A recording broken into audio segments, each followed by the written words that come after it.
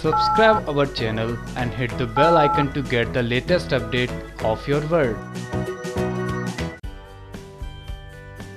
जब से ड्रग का मामला खुलता हुआ नज़र आ रहा है तभी से कोई ना कोई सेलेब बॉलीवुड का कहीं बाहर जाता हुआ नज़र आ रहा है वेल well, ये बात तो हम अच्छे से जानते हैं कि लॉकडाउन की वजह से ये सेलेब्स कहीं इंटरनेशनली घूमने नहीं जा सकते, लेकिन ज़्यादातर सेलेब्स गोवा जाते हुए नज़र आ रहे हैं। और ऐसे ही हाल ही में स्पॉट किया गया है खान परिवार को। जी हाँ ये खान परिवार है करीना कपूर खान और सैफ अली खान का।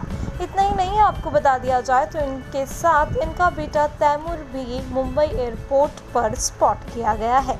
ऐसे में बड़ा सवाल यही उठ रहा है कि क्या खान परिवार भी मुंबई छोड़कर मुंबई से बाहर कहीं जा रहा है।